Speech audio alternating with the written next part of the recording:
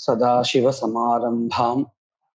शङ्कराचार्यमध्यमाम् अस्मदाचार्यपर्यन्तां वन्दे గురుపరంపరాం శ్రీ గురుభ్యో నమ ఇరువత్తి రెండావదు శ్లోకం జుష్టో మంత్రిజనేన సంగతధియా మద్వన్న కశ్చిత్ ప్రభు ప్రాప్తాత్యుజ్వల కీర్తి సంహతిరహం तैस्तैश्चरित्रैर्निजैः रामो नार्हति तुल्यतां जनकजे सङ्ग्रामसिंहस्य मे सर्वं सत्यम् अरे परं त्वनुचितः सन्न्यास एकस्तव சார்தூல விக்கிரீடத்துல இருக்குது இப்போ பதச்சேதா जुष्टः संगत धिया मध्वत न कश्चित प्रभु। प्राप्तात्युज्वल कीर्ति संहति ही अहम तैः तैः, चरित्रैः निजैः। रामः न अर्हति तुल्यताम। जनकजे संग्राम सिंहस्य மே சர்வம் சத்யம் அரே பரம். து அனுச்சித சந்நியாச ஏக தவ இப்படின்னு பதச்சேதா இந்த ஸ்லோகத்திலையும் ராவணன் தன்னை பத்தி உயர்வாகவும் ராமரை பத்தி தாழ்வாகவும் சொல்றான். எப்படிங்கிறத நம்ம பார்க்க போறோம். ஜுஷ்டஹா மந்திரி ஜனேன சங்கததியா முதல்ல ஜனகஜே அப்படிங்கிற பதத்தை எடுத்துக்கணும். இது வெளி வேற்றுமை ஜனகஜே ஹே சீதாயே ஜனக புத்திரியே சீதையே என்ன போல ஒரு ராஜா கிடையாது. மத்வத்து ந பிரபு லோகே அஸ்தி. என்ன போல ஒரு பிரபு தலைவன் கிடையாது. ஏன்? அப்படின்னு கேட்டா மந்திரி ஜனேன ஜுஷ்டஹா மந்திரி ஜனங்களால் நான் சேவிக்கப்படுகிறேன். எப்பேற்பட்ட மந்திரி ஜனங்களால் அப்படின்னு கேட்டா சங்கத தியா நல்ல ஒரு புத்திமான்களாக இருக்கக்கூடியதான மந்திரி ஜனேனா காம தான பேத தண்ட இந்த மாதிரியான எல்லா விதங்களான விஷயங்களும் தெரிந்து வைத்துக் கொண்டிருக்கக்கூடிய மந்திரிகள். உயர்வான மந்திரிகள் அப்பேற்பட்ட நல்ல சிறந்ததான புத்தியை கொண்ட மந்திரிகள் இருக்கிறார்களே அவர்களால் மந்திரி ஜனேன சங்கததியா மந்திரி ஜனேன ஜுஷ்டஹா அகம் சேவிக்கப்படுகின்றதான நான் என்னை போல மத்வத் என்னை போல ந கஷ்டித் பிரபு லோகே அஸ்தி.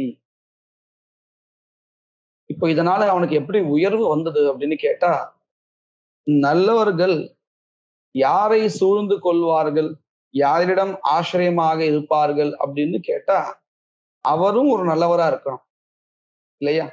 இப்போ இந்த மந்திரிகள் வந்து நல்ல தாமதானாதி விஷயங்கள் தெரிஞ்சவர் தேச காலாதி தெரிஞ்சவர்கள் நல்ல புத்திமான்கள் இப்பேற்பட்ட நல்ல புத்தியை கொண்ட சிறந்ததான அமைச்சர்கள் என்னை சேவிக்கிறார்கள். ஜுஷி பிரீத்தி சேவனயோகோன்னு தாத்து.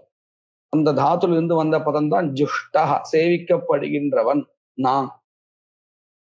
அப்போ என்ன ஆயிடுறதுன்னு சொன்னா இந்த நல்லவர்கள் எல்லாம் சேவிக்க கூடியதான இந்த ராவணன் எப்பேற்பட்ட நல்லவனா இருக்கணும் அப்படின்னு தன்னை காமிச்சுக்கிறான். சங்கததியா மந்திரி ஜனேனா. ஜுஷ்டஹா பிரபு சேவிக்கப்படுகின்றதான ஒரு பிரபு தலைவன் ராஜா மத்வத்து என்னை போல கஷ்டித்து நான் லோகத்திலே மற்றொருவன் இல்லை அப்பேற்பட்ட சிறந்ததான ஒரு ராஜா நான். ஒரு விஷயம் அடுத்தது. பிராப்தாத்யுஜ்வல கீர்த்தி சம்ஹதிஹி அகம் அகம் நான் இப்பேற்பட்டவன். பிராப்த அத்யுஜ்வல கீர்த்தி சம்ஹதிஹி. பிராப்தன்னா அடைந்ததான உஜ்வலா கீர்த்திகி. மிகவும் பிரகாசமான ஒரு புகழ். அந்த புகழ் மட்டுமில்லை புகழுடைய கூட்டங்கள் சம்மதினா கூட்டம்னு அர்த்தம். ஏதோ ஒருத்தர் ரெண்டு பேர் என்ன புகழாங்கிறது இல்ல. நிறைய புகழுடைய கூட்டங்களை கொண்டிருக்கேன். எப்படி? நாமளே பின்னாடி பார்க்க போறோம். பிராப்தாத்யுஜ்வல கீர்த்தி சம்ஹதிஹி. அடைந்ததான மிகவும் ஒளி பொருந்திய புகழ் கூட்டங்களை கொண்டவன் நான்.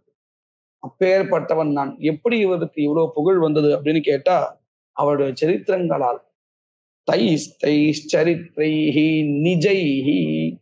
நிஜைஹின்னா ஸ்வகீஹி. தன்னுடையதான சரித்திரைஹி சரித்திரங்களால்.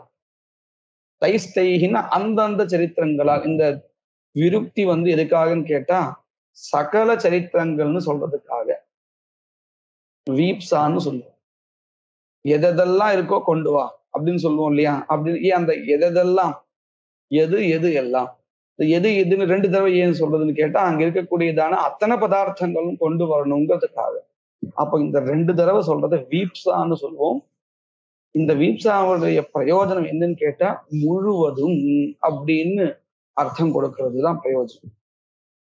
இந்த இடத்துலையும் தைஸ்தைஹி நிஜைஹி சரித்திரைகின்றது அந்தந்த என்னுடைய சரித்திரங்களால் இவருடைய அனைத்து சரித்திரங்களால் எப்படி குபேரனுடைய சண்டையை போட்டார் ஐஸ்வர்யங்களை கொண்டு வந்தார் புஷ்பக விமானத்தை கொண்டு வந்தார் லங்கையை பறித்து கொண்டார் இந்த மாதிரியான பராக்கிரமியா இருக்கார் சிவபக்தனா இருக்கார் இந்த மாதிரி பல சரித்திரங்கள் இவருடைய சரித்திரங்கள் அந்த சரித்திரங்களால இவருக்கு என்ன ஆயிருக்குன்னா மிகவும் பிரசித்தமான ஒளி பொருந்திய கீர்த்திகளுடைய ஒரு கூட்டம் கிடைச்சிருக்கு. தைஸ்தைஹி சரித்திரைஹி நிஜைஹி பிராப்தா தியுஜ்வல கீர்த்தி சம்ஹதிஹி நாம். கீர்த்தி சம்ஹதிஹி அகம். பேர்பட்ட பெரிய விஷயங்களை கொண்டவன் நான். சரி இவரை பத்தி இந்த ரெண்டு வாக்கியங்கள்ல சொல்லிட்டார் இவர் வந்து ரொம்ப பெரிய ஆளுன்னு தெரிஞ்சு போயிடுச்சு இப்போ ராமரை பத்தி குறைவா சொல்றார். ராமஹா நார்ஹதி துல்லியதாம். ராமஹா ராமன் ந அருஹதி. எனக்கு ஒப்பானவன் இல்லை. எந்த விஷயத்துல ச சங்கிராம சிம்ஹஸ்யமே. சங்கிராமஹான யுத்தம்னு அர்த்தம். யுத்தத்துல சிம்மம் போன்றவன் நான். அந்த அளவுக்கு பராக்கிரமத்தை கொண்டவன் அர்த்தம். துர்தர்ஷா அப்படின்னு சொல்லுவேன் அதாவது நெருங்க முடியாதவன் யுத்தத்திலே. மகா பராக்கிரமி. அப்பேற்பட்ட மே எனக்கு ராமஹா துல்யதாம் நார்ஹதி. ராமன் சமமானவனாக இருக்க மாட்டான். ராமோ நார்ஹதி துல்யதாம். சங்கிராம சிம்ஹஸ்ய மே. இப்படின்னு இந்த மூணு பாதங்கள்ல தன்னை பத்தி உயர்வாக ரெண்டு பாதங்கள்லையும் ஒரு பாதத்துல ராமரை பத்தி குறைவாகவும் சொல்லியிருக்கார். இப்போ இவனுக்கு இந்த ராவணனுக்கு சீத்தை பதில் சொல்றான். சத்தியம் நீ சொல்றதெல்லாம் உண்மைதான். சர்வம் சத்தியம் இந்த சாஸ்திரங்கள்ல அர்த்தாங்கீகாரகான்னு ஒண்ணு சொல்றது உண்டு. பூர்வபக்ஷி ஒரு விஷயத்த சொல்லியிருக்கான்னு சொன்னா அதில் பாதி அளவுக்கு ஏற்றுக்கொள்ளக்கூடியதாக இருந்தால் வஸ்துதா அது சித்தாந்தம் இல்லை. அது ஏற்றுக்கொள்ளக்கூடியது இல்லை முழுவதுமாக. ஆனால் ஒரு அம்சம் அதுல ஏற்றுக்கொள்ளக்கூடியதாக இருந்தால் சித்தாந்தத்துல எப்படி ஆரம்பிப்பா? சத்தியம் அப்படின்னு ஆரம்பிப்பா. அந்த சத்தியம்னு பார்த்த உடனே இந்த பூர்வபக்ஷி சொன்னது எல்லாமே சரிதான்னு நம்ம நினைச்சு கூடாது. இதுக்கு அர்த்தாங்கீகாரகான்னு பேர். அத போலதான் இங்கேயும் சீதை சத்தியம் அப்படின்னு ஆரம்பிக்கிறார் அதனால இவன் சொன்னதெல்லாம் வந்து சீத்தை ஏத்துக்கொண்டால் அப்படிங்கிறது இல்லை. இவன் சொன்னதுல சில இது இருக்கு என்ன இருக்கு? இவனுடைய சரித்திரங்கள் கொஞ்சம் பராக்கிரமிங்கிறத காட்டுறதா இல்லையா? இவன் குபேரனுடைய சண்டை போட்டதோ புஷ்பக விமானத்தை அடைஞ்சதோ லங்கைய அடைஞ்சதோ இதெல்லாம் உண்மைதானே? அந்த அளவுக்கு இந்த ராவணனுக்கு பராக்கிரமம் இருக்குதான். அந்த விஷயத்துல சத்தியம் சர்வம் நீ சொன்னதெல்லாம் சரிதான். அந்த இடத்துல பக்கத்துல அரே அப்படின்னு அது விழி வேற்றுமை நாம ஏற்கனவே பார்த்திருக்கோம். அரே சத்தியம் சர்வம். நீ சொன்னதெல்லாம் சரிதான். சர்வம்னு இருந்தாலும் நம்ம எந்த இடத்துல எடுத்துக்கணும்? அர்த்தாங்கீகாரங்கிற அர்த்தத்துல எடுத்துக்கணும். ஏன்னா பின்னாடி சொல்ல போறான். முழு நீ சொன்னது முழுவதும் சத்தியம்னு சொன்னா பின்னாடி இது சரியில்லைன்னு எப்படி சொல்ல முடியும்? ஒரு அம்சத்தை காமிச்சு. அர்த்தாங்கீகாரா அப்படின்னு சாஸ்திரத்துல சொன்னபடி இங்கே எடுத்துக்க வேண்டியது. அனுச்சிதா சந்நியாசா ஏகஸ்தவ. நீ பண்ண சரித்திரங்கள்லாம் சரிதான். ஆனா நீ என்ன கடத்திண்டு போறதுக்காக ஒரு சந்நியாச வேஷம் பூண்டிய இல்லையா? அது அனுச்சிதா ஏகா தவ. உனக்கு அது பொருந்தியதா இல்லை? ஏன்னா நீ இவ்வளவு பராக்கிரமின்னு உன் நீ காமிச்சுக்கிற மகா பலசாலிங்கிற நல்லவர்கள் எல்லாம் உன்னை சுத்தி வந்துன்னு இருக்கா உன்னை ஆசிரியிச்சுட்டு இருக்கா உன்னை சேவிக்கிறான்னு சொல்றேன். அப்படி இருக்கும் பொழுது இந்த சந்நியாச வேஷம் பூண்டு என்னை கடத்திட்டு வந்துட்டியே அது உனக்கு பொருந்தவில்லை. அனுச்சிதா அனுச்சிதான பொருந்தவில்லை. எது? சந்நியாசா ஏகா தவ. சந்நியாசகான் இந்த வேற வேஷம் எடுத்துட்டே இல்லையா? தரிச்சுட்டே இல்லையா? அது பொருந்தவில்லை தவா உனக்கு. இப்படின்னு மேலோட்டமான அர்த்தம். ஆனா சீத்தை எதை மனசுல என்ன வச்சு சொல்றா அப்படின்னு கேட்டா சந்நியாசகா இருக்கா இல்லையா? சம் அதாவது உபசர்க்கத்தோடு கூடிய இந்த சகார் சம்னு உபசர்காவே இருக்கு. சம் இந்த உபசர்கா இருக்கே அல்லது மகாரத்தோடு சேர்ந்த சகாரம். இது வந்து ஞாசகா தியக்தவ்யா நீ சொன்ன பதங்கள்ல சம் அப்படிங்கிற எழுத்தை எடுத்துட்டு படிக்கணும். அதுதான் உனக்கு பொருந்தியது. மத்தது உனக்கு பொருந்தாது. நீ சொன்ன வார்த்தைகள்ல சம்ங்கிற எழுத்தை எடுத்துட்டு பார்த்தேன்னா என்ன அர்த்தம் வருமோ அதுதான் பொருந்தக்கூடியது அப்படின்னு சொன்னா என்ன பொருந்துறதுன்னு பார்க்கணும். முதல்ல இந்த ஸ்லோகத்துல எந்தெந்த பதங்கள்ல சம் அப்படிங்கிற எழுத்து இருக்கு அதை எடுத்துட்டா அந்த பதங்கள் என்னவா மாறுறதுன்னு பார்க்கணும். முதல் பாதத்துல சங்கததியா அப்படின்னு இருக்கு இல்லையா? அதுல முதல் எழுத்து சம். அதை எடுத்தாச்சுன்னு சொன்னா கததியா அப்படின்னு அர்த்தம் அப்படின்னு பதம் கிடைக்கும். அதுக்கு அடுத்தது ரெண்டாவது பாதத்துல பிராப்தாத்யுஜ்வல கீர்த்தி சம்ஹதிரகம் அப்படின்னு இருக்கு இல்லையா? அந்த இடத்துல சம் அப்படின்னு இருக்கு. அதை எடுத்தாச்சுன்னு சொன்னா அந்த பதம் என்னவா கிடைக்கும்? பிராப்தாத்யுஜ்வல கீர்த்தி ஹதிரகம் அப்படின்னு கிடைக்கும். அடுத்தது மூணாவது பாதத்துல ராமோ நாரகது துல்லியதாம் ஜனகதே சங்கிராம சிம்ஹஸ்ய அப்படின்னு இருக்கு. அந்த பதத்துல சம் அப்படிங்கிற பதத்தை எடுத்தாச்சுன்னு சொன்னா கிராம சிம்ஹஸ்யமே அப்படின்னு கிடைக்கும். இப்போ மூணு பதங்கள் நாம எடுத்திருக்கோம். மூணு பதங்கள்ல சீதை சொன்னபடியாக அந்த சம் அப்படிங்கிற பதத்தை எடுத்துட்டு பார்த்திருக்கோம். இந்த மூணு பதங்களுக்கு என்ன அர்த்தம்னு பார்க்கணும். நமக்கு ஏற்கனவே பல ஸ்லோகங்களை பார்த்திருக்கோம். ராவணன் என்ன மாதிரியான தன்னை உயர்த்து சொல்லிக்கிறானோ சீதை சொன்ன பிறகு பதங்களை மாற்றம் செய்த பிறகு அதுக்கெல்லாம் விருத்தமான அர்த்தம் கிடைக்கும்னு நம்ம ஏற்கனவே பார்த்திருக்கோம். இங்கேயும் அப்படித்தான். பாருங்க முதல் பதம் சங்கததியா. அதுல சம் எடுத்தாச்சு. கததியா. கததியா மந்திரி ஜனேன ஜுஷ்டா அகம் பிரபு கததீஹி அப்படின்னு பதம். அப்படின்னு அர்த்தம்? புத்தி நாசம் அடைந்தவன் அர்த்தம். கததீஹி கததியா. புத்தி நாசம் அடைந்ததான மந்திரிகளால் சூழப்பட்டவனாக சேவிக்கப்பட்டவனாக நான் பிரபு ஒரு தலைவனாக இருக்கிறேன்.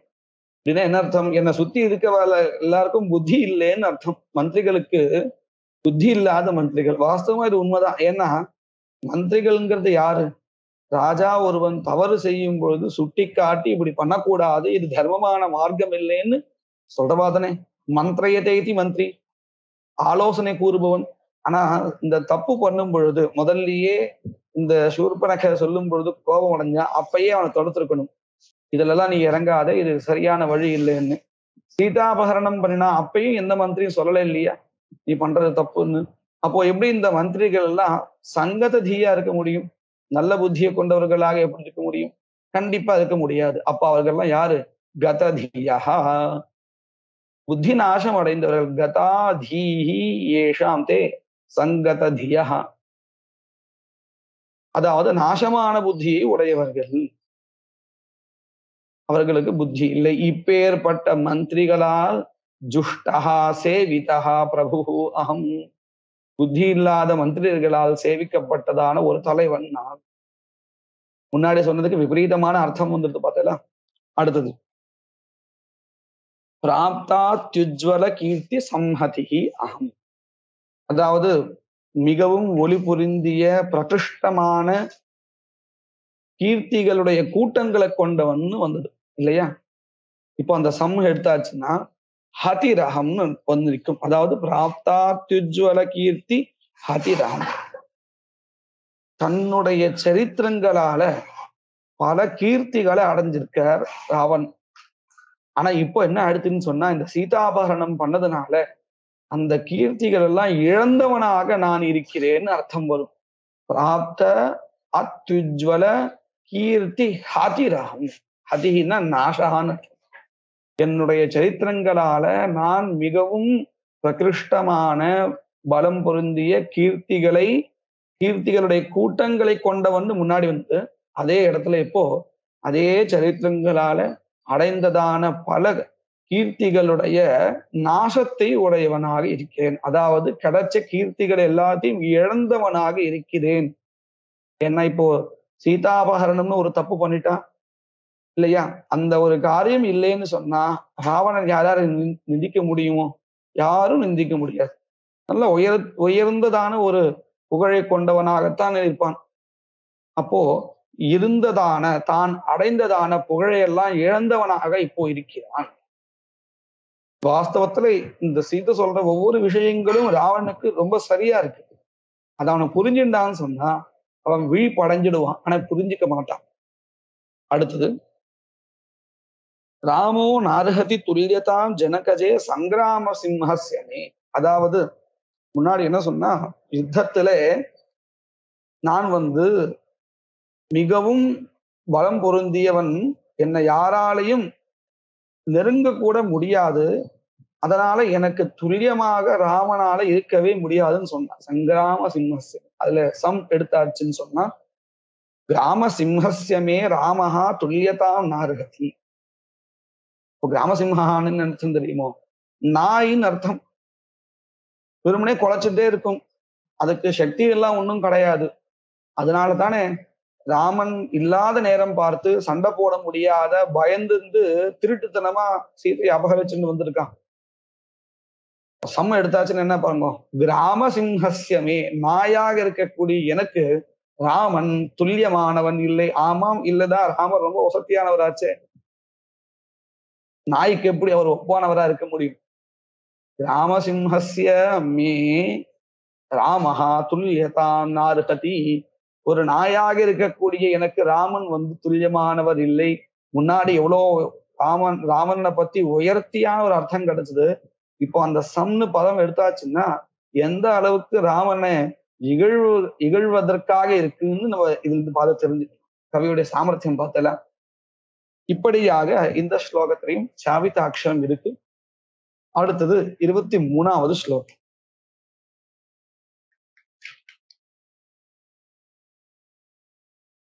மூர்த்தியா மர்க்கட சந்நிபஸ்ய நியமை சம்சோஷனாத் காணனே.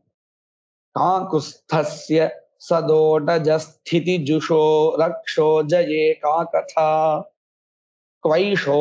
கதா क्वैषोऽहं जटयान्वितो नि अनिशमटव्यध्वाश्रयः स- सः क्व ते भर्ता जानकिरे विटोक्ति परिपाट्येवोचिता तेन किम् இதுவும் சார்தூல விக்கிரீடத்துல இருக்கு பதச்சேதம் மூர்த்தியா மர்க்கட சந்நிபஸ்ய नियमैः संशोषणात् कानने काकुत्स्थस्य सदा उटजस्थितिजुषः रक्षोजये का कथा। एषः अहं जटयान्वितः अनिशम् अटव्यध्वाश्रयः। सः क्व ते భర్త జానకి రే విటోక్తి పరిపాట్యేవ ఉచిత విటోక్తి పరిపాట్యేవ உச்சிதா தே ந கிம் இப்படின்னு பதச்சேதா இந்த ஸ்லோகத்திலையும் கூட ராவணன் தன்னை பத்தி உயர்த்தியும் ராமரை பத்தி தாழ்வாகவும் சொல்றான். இப்படின்னு பார்க்கலாம். மூர்த்தியா மர்க்கட சந்நிபஸ்ய காகுஸ்தஸ்ய. அதாவது எப்படி சொல்ல வரான்னு தாற்பயம் முதல்ல சொல்லிடுறேன்.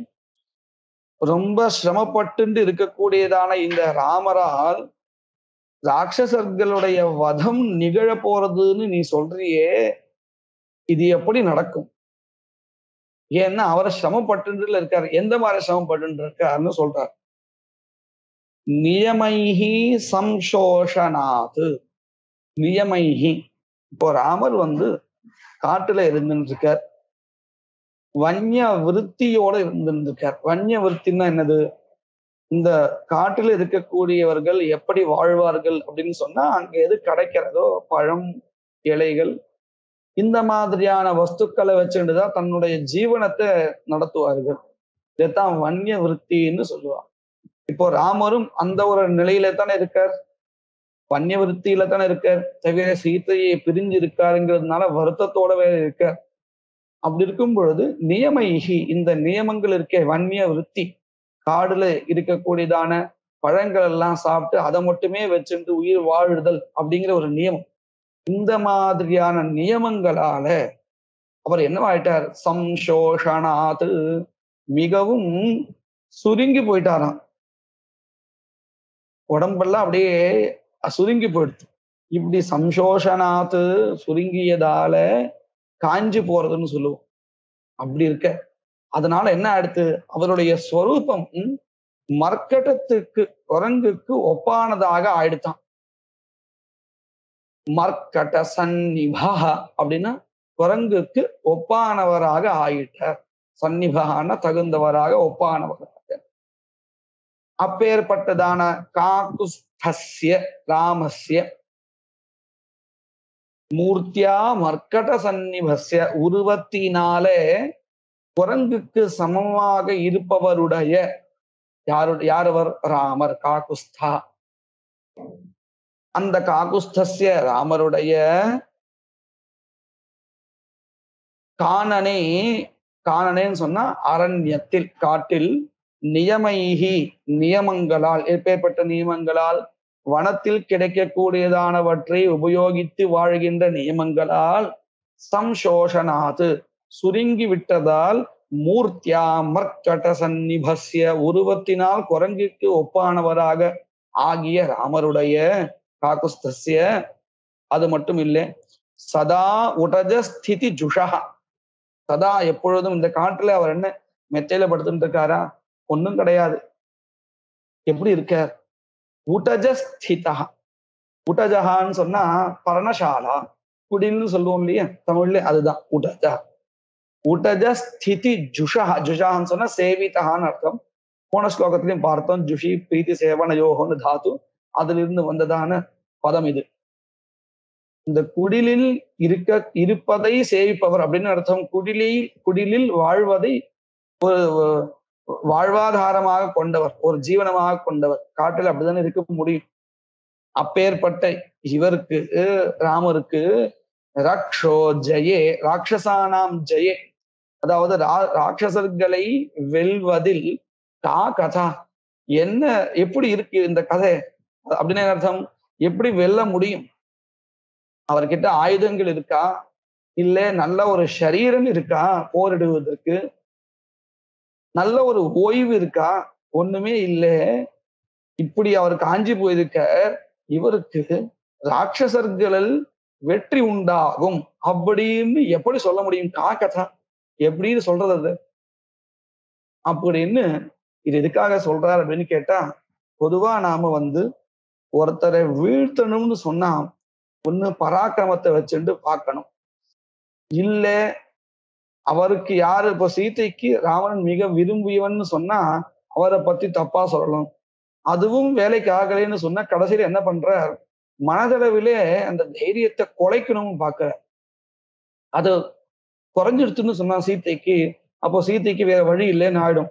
அப்ப என்ன பண்றா? நீ ராமனை ரொம்ப நம்பின்னு இருக்க.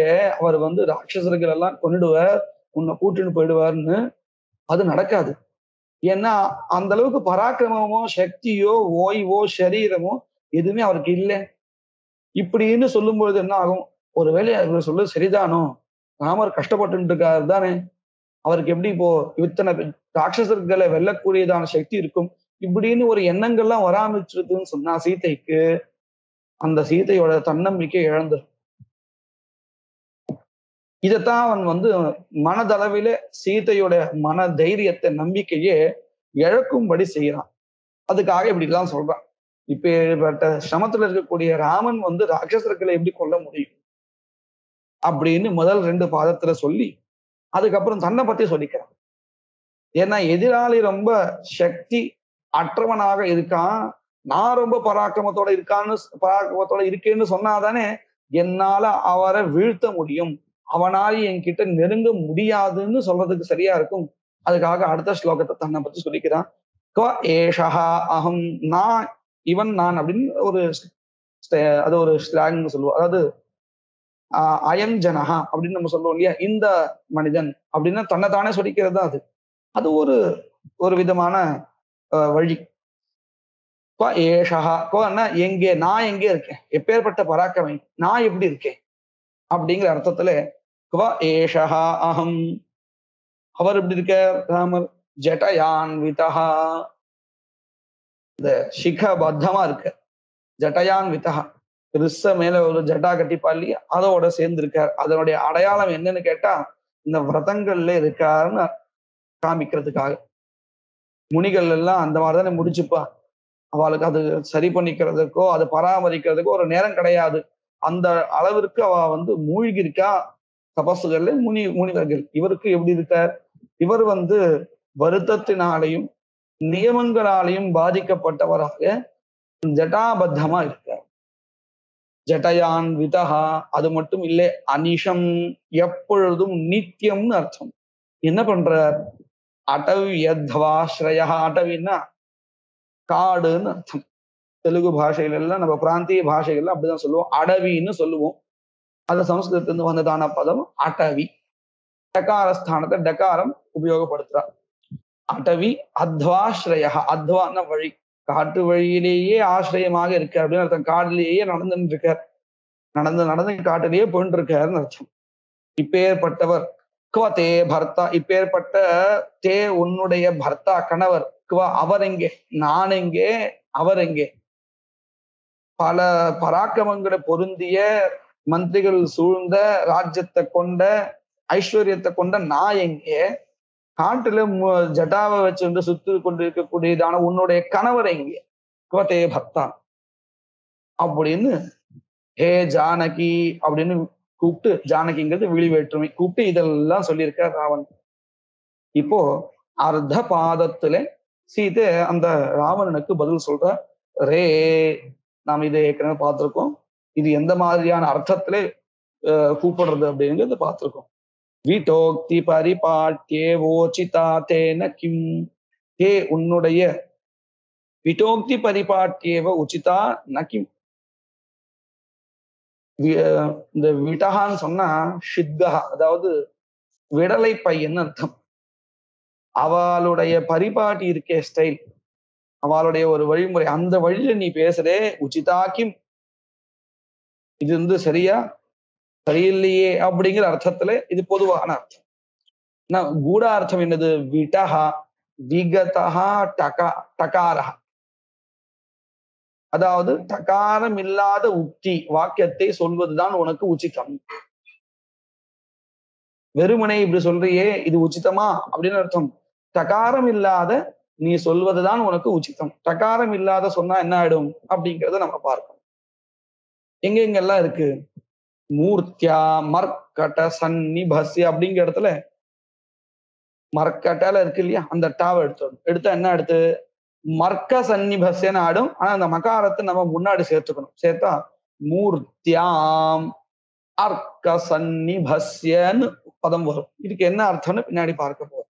அதுக்கப்புறம் காகுஸ்தஸ்ய சதா உட ஜஸ்திதி ஜுஷகான் இருக்கு அந்த இடத்துல டக்காரத்தை எடுத்தாச்சுன்னு சொன்னா ததோஜஸ்திதி ஜுஷா அப்படின்னு பதம் கிடைக்கும். அதுக்கு அடுத்தது மூணாவது பாதத்தை பாதத்துல ஜடயான் விதஹான் இருக்கு அதில் டக்காரத்தை எடுத்தாச்சுன்னா ஜயான் விதஹா இந்த பதம் பார்க்கும்பொழுது நமக்கு அர்த்தம் புரிஞ்சிருது. பாதி ஜயான் விதஹா அப்படின்னு.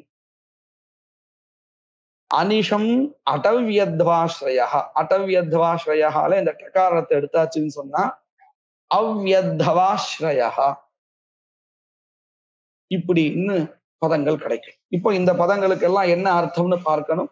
எந்த வகையில இதே பதங்கள் முன்னாடி ராவணனுக்கு புகழை சேர்ப்பதாக இருந்தன எந்த வகையில இதே பதங்கள் சீத சொன்னதுக்கு பிறகு டகாரத்தை எடுத்த பிறகு ராவணனை இகழ்வதாக இருக்கின்றனங்கிறத நம்ம பார்க்கணும். முதல்ல மூர்த்தியாம் அர்க்க சந்நிபஸ்ய கா குஸ்தஸ்ய அப்படின்னு பார்ப்போம்.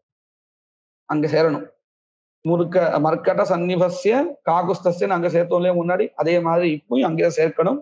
ஆனா அந்த டகாரத்தை எடுத்துட்டு மூர்த்தியாம்னு பதத்தை மாத்திக்கணும். மூர்த்தியாம் அர்க்க சந்நிபஸ்ய அப்படின்னு அர்த்தம் இந்த நியமங்கள் எல்லாம் பண்றாரு இல்லையா? ராம ராமர் காட்டுல நியமத்தோட வாழ்ந்துட்டு இருக்காரு இல்லையா? அந்த நியமத்தினால அவர் என்ன எடுத்து அவருடைய தேஜஸ் ரொம்ப வளர்ந்து போயிடுத்தான். எந்த அளவுக்கு வளர்ந்து போயிடுத்துன்னு சொன்னா சூரியனுக்கு ஒப்பானதாக ஆயிடுத்தான். மூர்த்தியாம் ஷரீரே. அந்த ராமருடைய சரீரத்துல ஒளியானது தேஜஸானது எப்படி இருக்குன்னு சொன்னா அர்க்க சந்நிபா சூரியனுக்கு ஒப்பானவராக இருக்கார் ராமர். அப்பேற்பட்டதான ராமருடைய ராமரை பத்தி ரொம்ப உயர்வா வந்துருச்சு. அதுக்கப்புறம் சதா சதா உடஜ ஸ்திதி ஜுஷான்னு சொன்னார். எப்பொழுதும் இந்த குடிலே வாழ்ந்து கொண்டிருப்பவர் அவருக்கு மாளிகை எல்லாம் கிடையாதுன்னு சொன்னான் இல்லையா? இப்ப பாருங்க. சதா சதோட்டா எடுத்தாச்சு இல்லையா? எடுத்தாச்சுன்னா சதோஜ ஸ்திதி சதா ஓஜ ஸ்திதி ஜுஷா அவருடைய ஓஜா ஓஜஹான்னு பராக்கிரமஹான்னு அர்த்தம். எப்பொழுதும் பராக்கிரமத்தோடு இருக்கக்கூடியவர். அவர் ஏதோ காட்ட சுத்தின் இருக்கார் ஆயுதம் இல்லை சரியான சாப்பாடு இல்லை ஓய்வு இல்லைன்னு நினைக்க வேண்டாம். சதா ஓஜஸ் திதி ஜுஷா எப்பொழுதும் ஓஜஸோடு கூடியவராக இருக்கார். அதனால கண்டிப்பா ஜெயம் உண்டு. அதுதான் மூணாவதுல பாதத்துல சொல்ல பாருங்க. ஜடயான் வித்தகாங்கிறத டக்காரத்தை எடுத்தா என்ன வந்துடும் ஜயான் விதஹா வெற்றியோடு கூடியவர். ஏன்? முன்னாடி சொன்னதா இல்லையா? அவருடைய தேஜஸ் சூரியனுக்கு ஒப்பானதா இருக்கு. ஓஜஸ் உடன் கூடியவரா இருக்கார். இதுதானே ஒரு வீரனுக்கு வேணும். வெற்றி அடைவதற்கு. அதனால இதெல்லாம் கொண்டிருப்பதுனால ஜயான் விதஹா வெற்றியோடு கூடியவராக இருக்கார். அதனால் கண்டிப்பா ராட்சசர்களுடைய வதத்தை பண்ணதான் போறார் அப்படின்னு தெரிகிறது. இன்னொன்னு சொன்னா அடவியத்வாஸ்ரயா அடவினர் காடுன்னு சொன்னோம். இந்த காட்டினுடைய வழியில சென்று கொண்டவராக இருக்காருன்னு சொன்னோம் இல்லையா? இது இப்ப அப்படியே நம்ம மாத்திக்கணும். ராவணனுக்காக சொல்லணும். எப்படி? அடவியத்வாலட்டா எடுத்தான்னா அவ்யத்வாஸ்ரயா. அவ்யத்வாஸ்ரயான்னா என்ன அர்த்தம்? வியத்வான்னா விகத அத்வா அதாவது தவறான வழியில செல்பவனுக்கு வியத்வஹான்னு பேர். தவறான வழியில செல்பவன். யாரு? ராவணன். ஆனா ராமர் வந்து சதா நல் வழியில செல்பவர் தானே வியத்வாக்கு முன்னாடி ஒரு ஆவ சேர்த்தா எனக்கு அவ்வியத்வான் ஆயிடும். நல்லா பாருங்க. வியத்வான்னு சொன்னா தவறான வழியில் செல்பவன் அர்த்தம். அதுக்கு முன்னாடி இன்னொரு ஒரு ஆவ சேர்த்தா அவ்யத்வான்னு ஆயிடும். அவ்வியத்வகா அப்படின்னு சொன்னா சரியான நேரான வழியில செல்பவன். ருஜு சரணஹான்னு சொல்லுவா. ருஜு சரணஹான்னு ஒரு நல்ல பதம். முருகனுடைய அர்ச்சனைகள்ல வரக்கூடிய பதம். அதுக்கு என்ன அர்த்தம்னு கேட்டா ருஜுன்னா நேரான வழியில் சரணஹான்னு செல்பவன். நேரான வழியில் செல்பவன் அர்த்தம். அந்த மாதிரிதான் இவர் அவ்யத்வஹா சரியான வழியிலே செல்பவன் அர்த்தம். ராமன் இப்போ இந்த மூணு பதங்களும் ராமரை பத்தி வசத்தியா சொல்றதாக ஆயிடுச்சு மூர்த்தியாம் அர்க்கட சந்நிபா ததோஜஸ்திதி ஜுஷா அவ்யத்வாஸ்ரய நல்வழியில மாத்திரம் ஆசிரயிப்பவர் இப்பேற்பட்டவர் ராமர் கண்டிப்பாக அவர் ராட்சசர்களை வதம் பண்ணி என்ன அழைச்சிட்டு போவார் அப்படின்னு தன்னம்பிக்கையை இழக்க வைக்கிறதுக்காக ராவணன் முயற்சி செஞ்சா கடைசியில இன்னும் தன்னம்பிக்கையை ஓங்கி ஒலிக்கிறது சீத்தையிடமிருந்து இப்படியாக இந்த ஸ்லோகம் அமைஞ்சிருக்கு மேற்கொண்ட ஸ்லோகங்கள் வருங்காலத்துல பார்க்கலாம்